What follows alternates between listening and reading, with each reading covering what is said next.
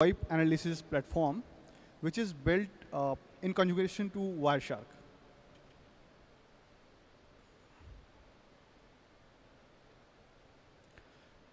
A little bit introduction. My name is Nishant Sharma. I work for Pentester Academy. Before uh, being a security researcher, I was a developer. I was developing Wi-Fi access points for enterprises as well as the Wi-Fi security systems. Uh, I have a master's degree in InfoSec, and for last couple of years, I have been presenting my research at Black Hat USA, Black Hat Asia, uh, Demo Labs, uh, HITB, and all the other venues. Uh, here are my team members. Let me introduce them. Hello everyone, my name is Ashish. I work for Pentester Academy as a senior security researcher. Before joining Pentester Academy, I worked for law enforcement agencies as a cybercrime investigator.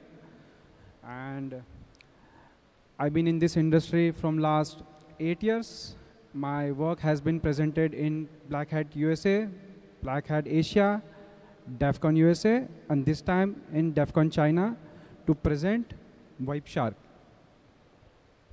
Hello DEF CON. My name is Jeswin. I'm currently working as a security researcher at Pentester Academy, and my work has been presented at Black Hat Asia, USA, and DEF CON Demo Labs. And here I am to present VoIP Shark.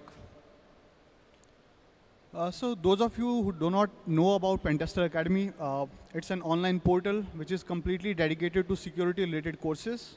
Uh, as it is online and it is subscription based, you can subscribe to it and you can access 40 plus of our courses which are completely focused on security.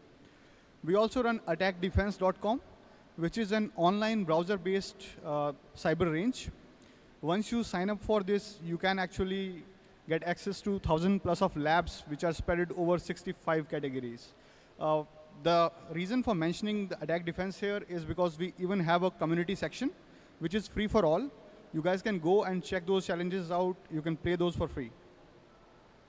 So now coming to the topic at hand, uh, we are going to discuss VoIP Shark, but before diving to the main tool, we are first going to cover the basics of VoIP.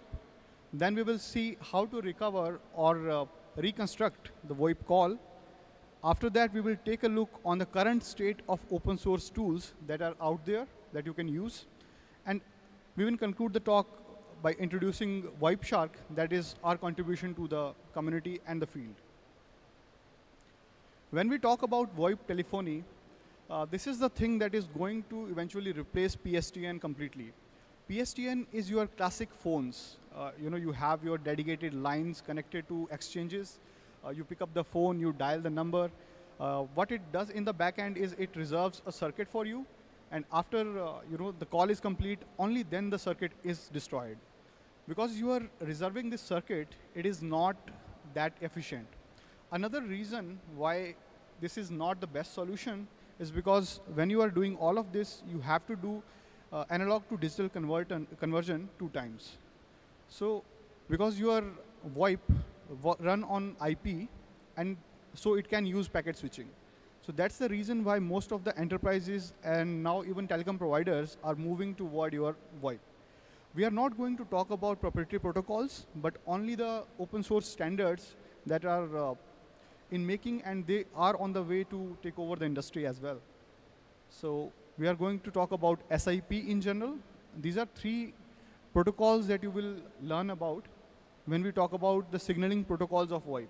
So VoIP has two uh, major uh, parts. One is the signaling and the other one is the media carrier.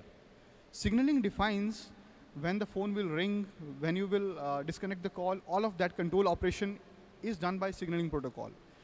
The actual voice or the video, when you are making the call, is then handled by the media carrier, that is uh, RTP in this case. So we are only going to focus on the first one here, that is, uh, sorry, that is the SIP. And uh, the other protocols are proprietary, so we are not going to talk a lot about them. SIP, or the Session Initiation Protocol, is the signaling one it's a text-based protocol, and uh, it supports your audio calls as well as uh, video calls. So as I already mentioned, when we say it supports these calls, it is only being used for the controlling. It cannot carry uh, your data or media. It can carry your SMSs because they are text-based data, right? So it can work there. Uh, it is important to mention that uh, SIP by default is not secure. It does not provide any kind of transport layer security. So if you want to secure your SIP uh, communication, you have to use TLS with it. So just like you do for HTTP, right? You have to use SIP over your TLS. This is the model in which uh, your VoIP telephony work, especially in SIP case. Uh, when you join the network or when you join the system, your phone will actually register to one of the servers, the VoIP servers, and that is done by using the subscribe message. So after that is done, if you want to place a call, you will be pushing a message to the server, and then that message will be forwarded to the target party. So that is how you will place a call. When any other party want to call you, you are going to get a notify message because you have subscribed to the service. This is a simple flow chart of uh, a call between two parties. The first party, when they initiate the call, an, an invite packet, SIP invite packet is sent. After the other party picks up, it gets the acknowledge. After that, your media transfer takes place, and a bye packet is sent by the party who disconnects the call. So now these are the user agent servers which we can use any servers which you may like.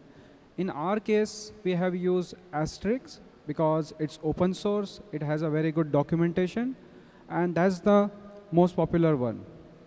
So, and to place a call, we need a soft phone or a hardware phone, right?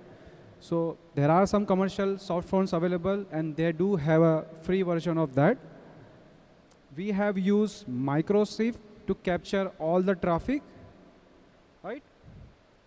So, and we have used AsteriskNOW. So what is AsteriskNOW? Asterisk now is the Asterisk server which will handle all the backend stuff, signaling and you know, calling, etc. The FreePBX will allow us to manage and control the Asterisk server using the graphical interface, right?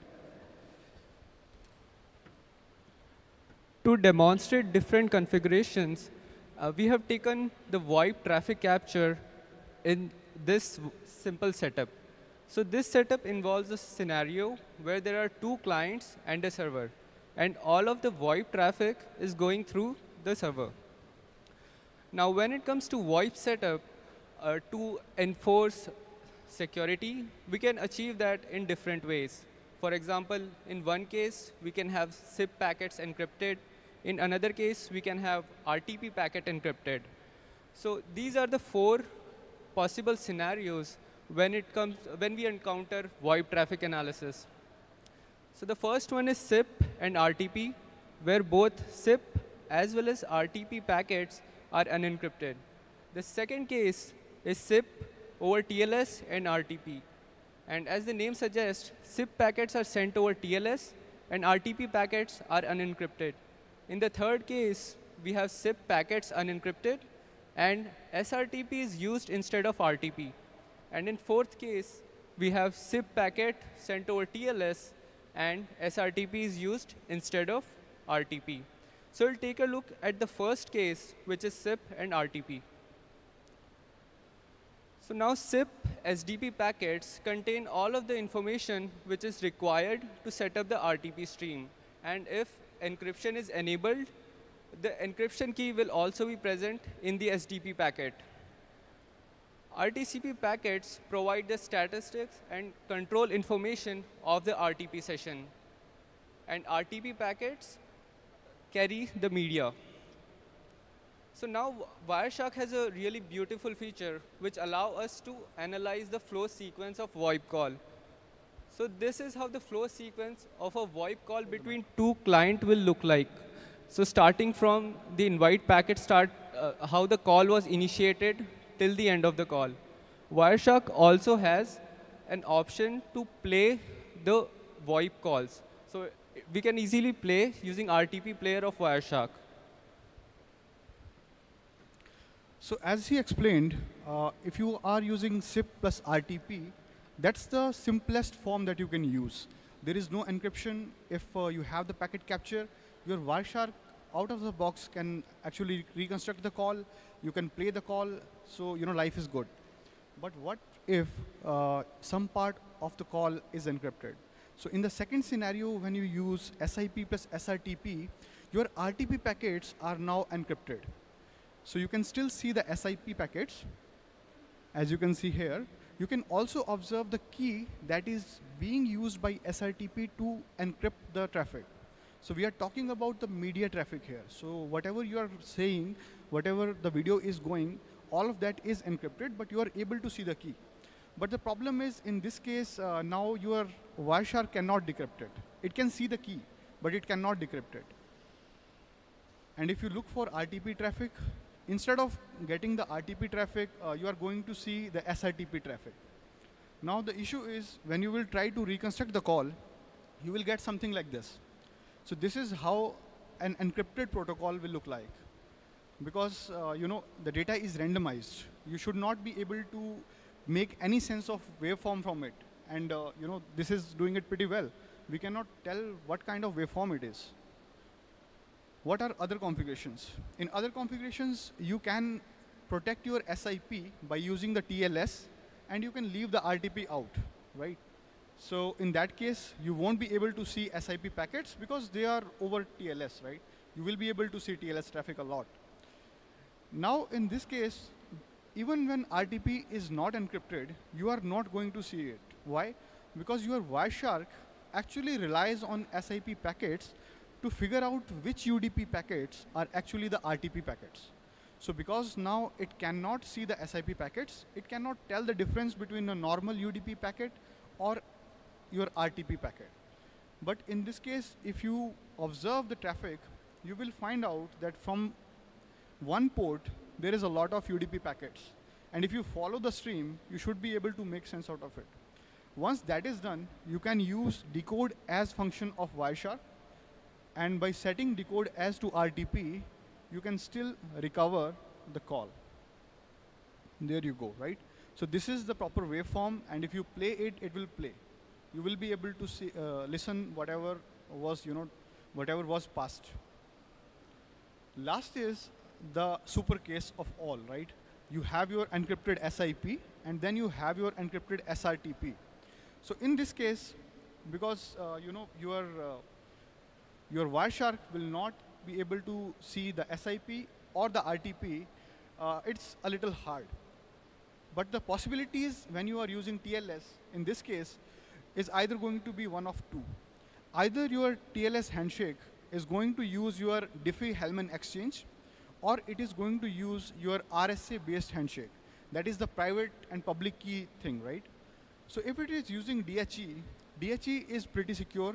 Uh, you know, if you have collected a passive traffic sample, you cannot find out the key from it because DHE protects you against eavesdropping. But if you can do active MITM attacks, you can actually target this too.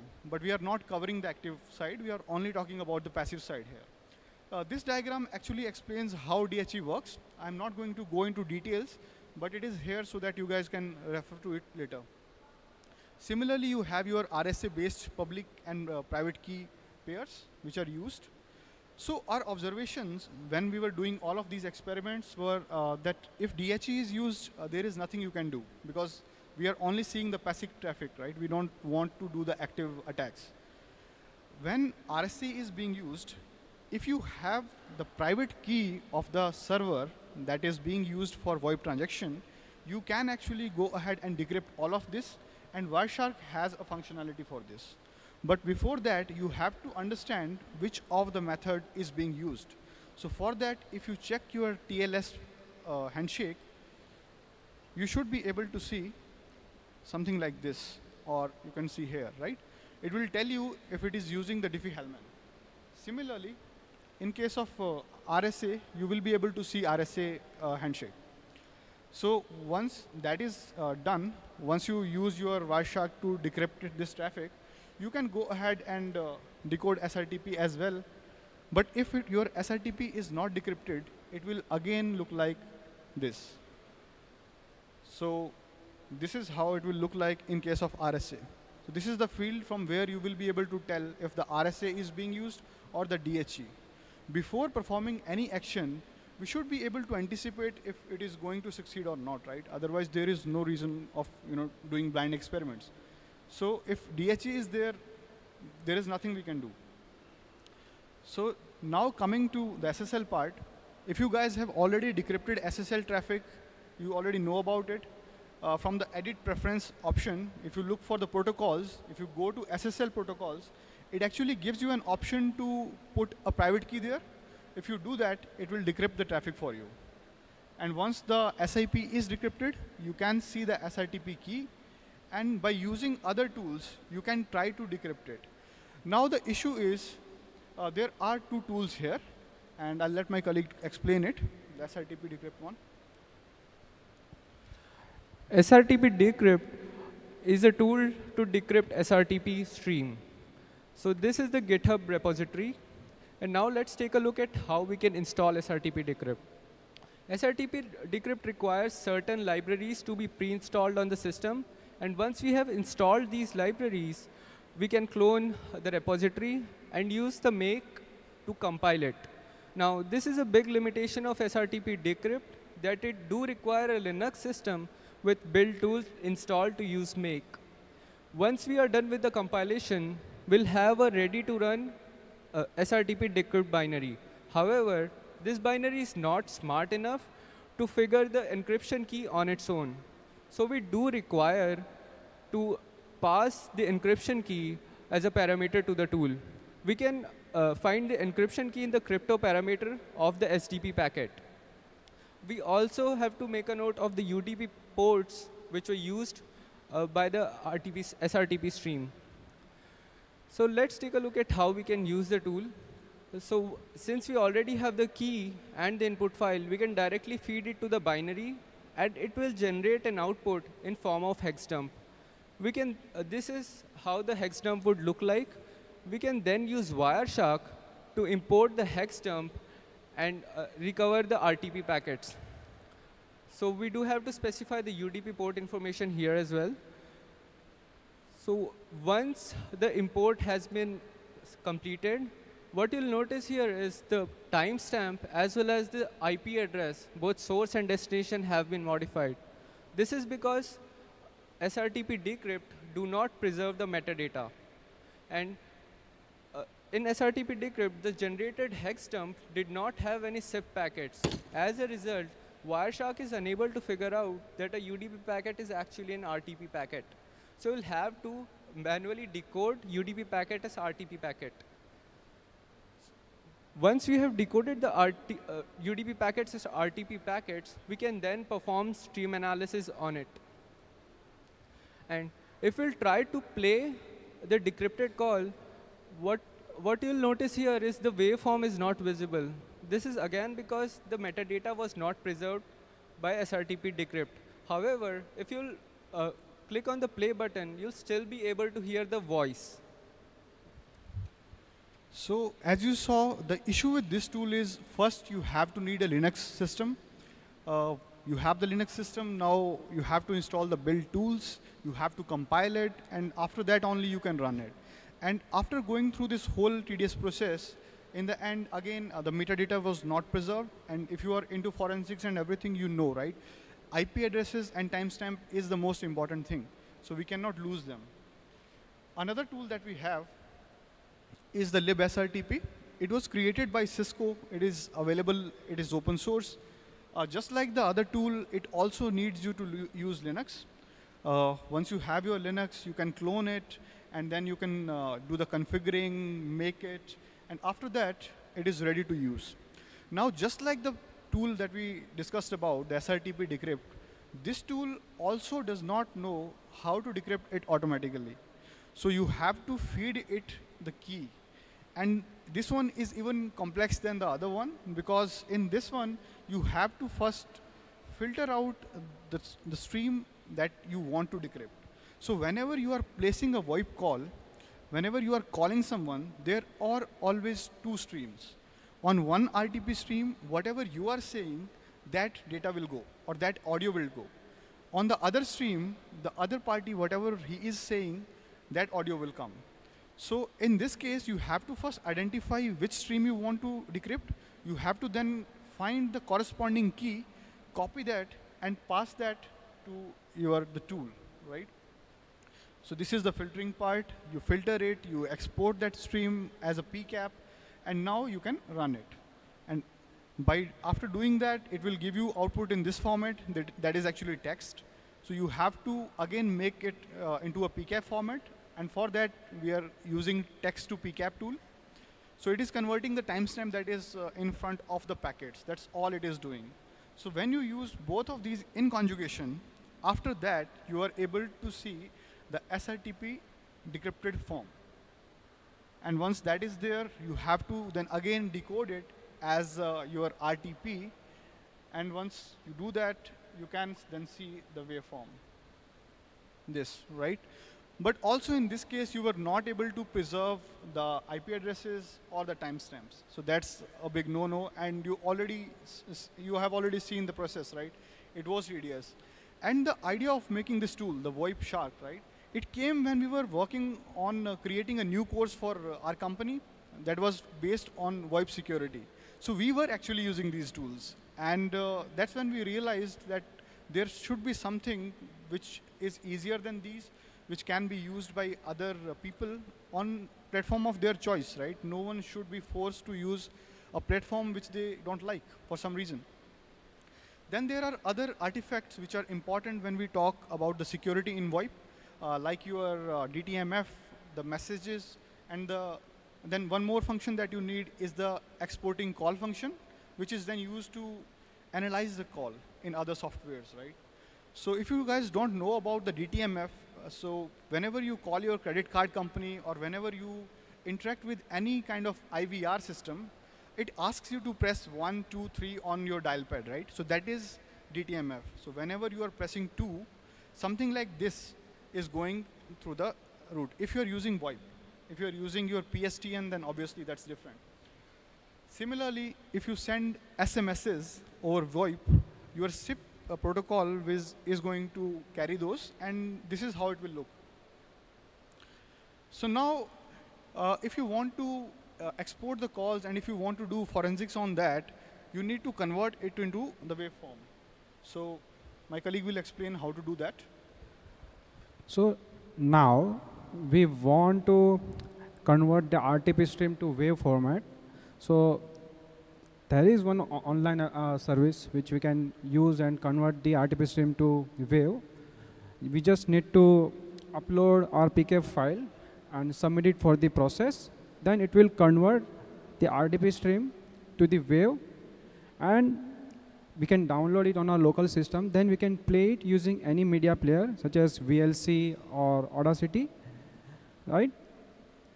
So if you are more concerned about our privacy, right? So we don't want to upload the PCAP online. So we, there is a script uh, on written in Bash, right? And it uses T-Shark and SoX. And that's the GitHub link. It does the same job and that's the tool help option. So we need to make sure that before we run the script, we need to install T-Shark and SoX on our system. Then we can uh, run the script by passing as a first argument the PCAP, and in the second argument we can you know, mention the output file name.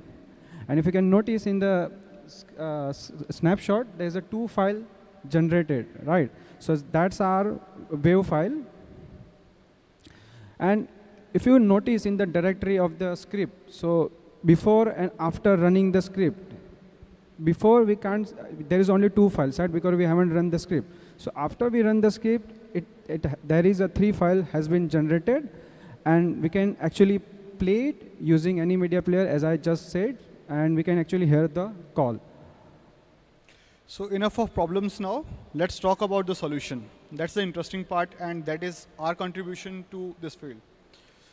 Uh, and that's where we bring in our tool, that is VoIP Shark.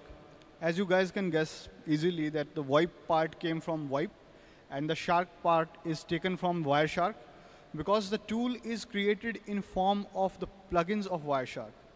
Now, there's a reason, and I'm going to explain it, why instead of creating a separate tool, why we chose to go with this route. Shark can decrypt your VoIP calls whenever possible. So by that, I mean whenever it will be able to see uh, the decryption keys or the encryption keys in your SIP packets, it will automatically decrypt it. It can run on live traffic. It has GPL license just like your Wireshark. So now the next question is, do we really need it? We talked about a lot of problems and some of them were uh, the tools that we already have they are cumbersome to use. Uh, not everyone can use them. You have to install them, then you have to go through the tedious process, and then you can get the decrypted uh, stream, right? Another thing was uh, these were restricted to Linux systems. You have to use Linux. Uh, because the tedious was so long, the process was so tedious, it is more likely for the users to make mistake. Because you have to select the right key, then you have to select the right, right stream in some cases. And after doing that, they were not uh, maintaining or retaining your metadata. That is your IP addresses and the timestamp, right? Another problem with those, as you already saw, is that the input that those tools take, that is not live traffic. That is a captured PCAP that is passed to them after manual processing, right? So our VoIP Shark can do all of this, and that's why we think it can actually help people who are doing VoIP analysis. Uh, why Wireshark plugins? Because we all love Wiresharks. Whoever is there in network analysis field, he has seen it, he has used it, and he knows the kind of power Wireshark has, right? So we decided if we create other, uh, other tool, just like the other tools, you have to again install it, and then it will become platform dependent, and then we have to also take care, because we are dealing in packets here, right? So packets can be in the magnitude of thousands and even you know, hundreds of thousands. So why not to use Wireshark's specialty? They have created Wireshark only for this purpose. Another reason is we want this tool to be extensible. So instead of going for C or any other compiled language, we chose Lua. Lua is a very user-friendly language. It's more of a scripting language with power of C. So if you join any scripting language that you think like your Python or something, uh, it has the power of C and it has the flexibility of Python. And even in case of Python, if you want to run it, you need to you know, and interpret it. In this case, if you are using it in Wireshark plugins, you just need to paste the plugins in the plugins directory in Lua itself. You need not to compile it, you need not to do anything. It will run out of the box. And because your Wireshark is OS independent, so are our plugins. It will run on Windows, Mac, uh, you know, Linux, you name it. On any platform on which you can run your Wireshark, our system will run. So uh, Wireshark plugins are basically of two types. Uh, one is the listener one, other one is the dissector one. We are using both in our toolkit. And this is how the typical dissection takes place in Wireshark. Uh, you pass it packet, it has a chain of dissectors. So if, if you have used Wireshark, you know what I'm talking about because when you get the packet, you have these layered layers there, right? You have Ethernet layers, then the IP layer, then the TCP, and then the above layer like HTTP or FTP for that matter. So that is what exactly happening there. So first, whenever the packet is captured, it is passed to Wireshark. The first plugin or the first part to get this packet is the outermost layer. So in this case, it will be the Ethernet. So Ethernet header will be processed there, and the payload will be passed down to the second one, second one in the chain. So in this case, your chained uh, plugins work. So our uh, Wireshark is also plugged in the chain like this. It takes after once your UDP and TCP parser is done. So from TCP and UDP parser phase, it figures out if the packet is SIP, RTP, SRTP, or or SDP, it will pass it to the Wireshark chain, and then Wireshark will do something which looks very complex here. Uh, I'm not going to explain all of this. We have a detailed research paper which will be available on the GitHub repo. You can go through it. If you're interested in knowing the internal workings, you can refer to this. If you have any questions, we will be reachable on mail also. Similarly, this is the decryption routines for SRTP traffic uh, decryption. And this is how you install VoIP Shark. You just go to a GitHub repo, you copy it, and just paste it in the plugins folder. And to find the plugins folder, just open your Wireshark, go to the help section. From there, you have to go to the about Wireshark and folders. So you will find personal plugins folder there. Just open that folder, put our stuff there, and it will work out of the box. Yeah, you have to restart the Wireshark, not the whole system. So once that is done, suppose this is your SRTP traffic, right? So now we have installed VoIP Shark. This is your SRTP traffic. Just go to edit preferences. So if you guys have already decrypted Wi-Fi traffic or SSL traffic, you know what I'm talking about. You go to edit. From edit, you have preferences option. From there, in protocol section, you have to look for VoIP Shark. So that is the new entry that we have created once you install the plugin, once you copy the plugins into the folder. And once you tick the box there, so there was this little box here, this one, right? Just tick it. It is not ticked by default because, you know, if you don't want to decrypt it, we also don't want to. Once you do that, you click OK, and there you go. That's all you have to do to decrypt the RTP traffic. And after that, you can actually create waveform from it. Now coming to the other uh, problem that we had we want to export the call in a popular uh, uh, format, audio format, right? So that you can use your Audacity or other tools on it. So for that, we have provided this option here. From the tools menu, if you go to the VoIP section, you will see the export uh, uh VoIP wave uh, option, and you can export it from there. It will ask you if you want to define a custom location or the file prefix. If you don't, then it will use the default one, and then it will export all the streams that are there in the PCAP. So we have also appended IP addresses of source and destination so that you can keep track of uh, streams of your interest. Also, when we were doing all of this, one more thing that we wanted to be out there was something which can provide you summary of your VoIP traffic. So suppose you are capturing this traffic on uh, a network uh, router or switch, right? So now you're dealing with hundreds or thousands of uh, calls. So you want to know which people are placing the calls, which numbers are there, all of that is needed, right? So what we did, we also created uh, some more plugins which will do all of that for you. So this one is the DTMF. So anyone, if he was using RTP, which was the unencrypted version, if he has passed anything on DTMF, it will be logged. And our plugin will show it in a pop-up, right? Similarly, you have your extensions. So these extensions are actually the numbers. So this one here, the extension, is the number. If a username is associated with it, that will also be shown with the IP address and also with the user agent. User agent is the software that you are using to place the call. Now, this information can help attackers in all of other ways also, right? So similarly, we can see how many RTP packets were transferred, which can help us to, to quantify if it is an audio call or video call or how long it was, right? So all of the information that was needed from the security perspective, that's the only thing that we have covered. We haven't gone for the basic uh, SIP. Then again, when you connect to the server, the SIP server, you have to register to the server and uh, just to make sure that no one can use your extension, there is this password that you have to pass.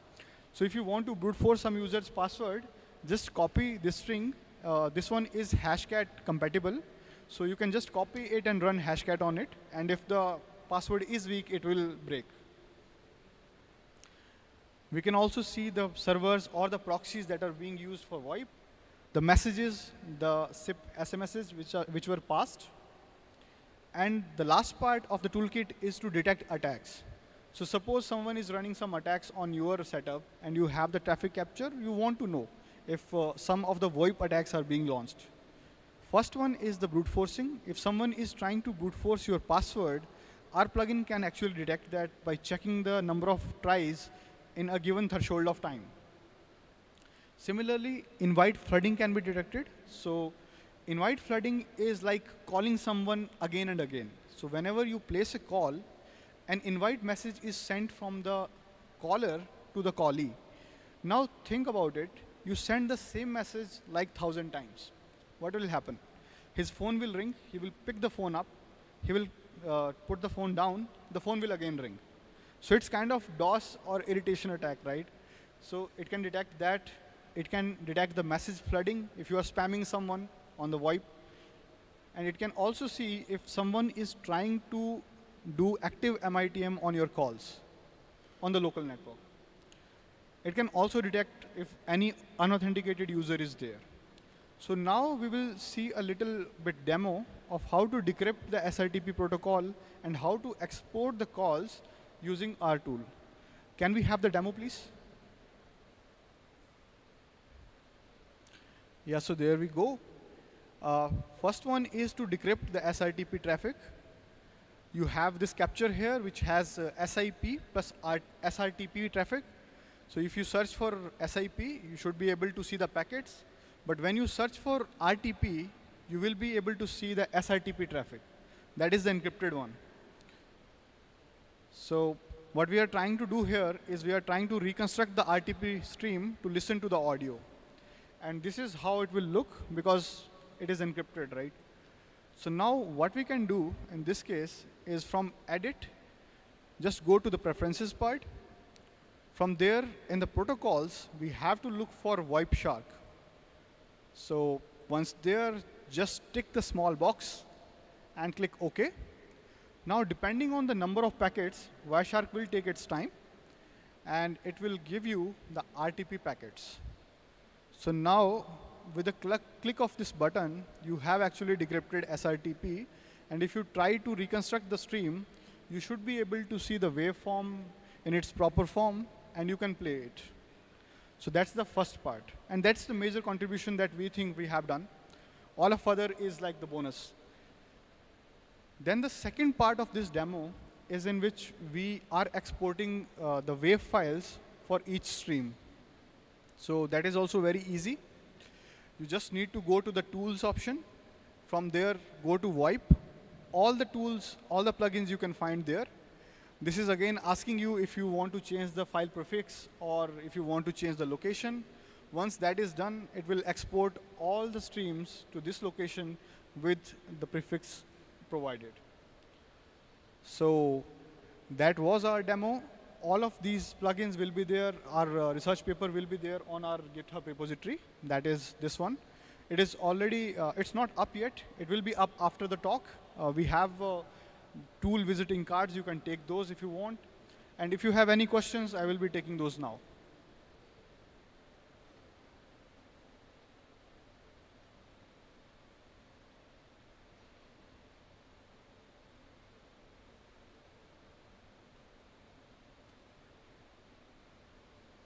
Any questions related to SIP, RTP, SRTP, anything is welcome.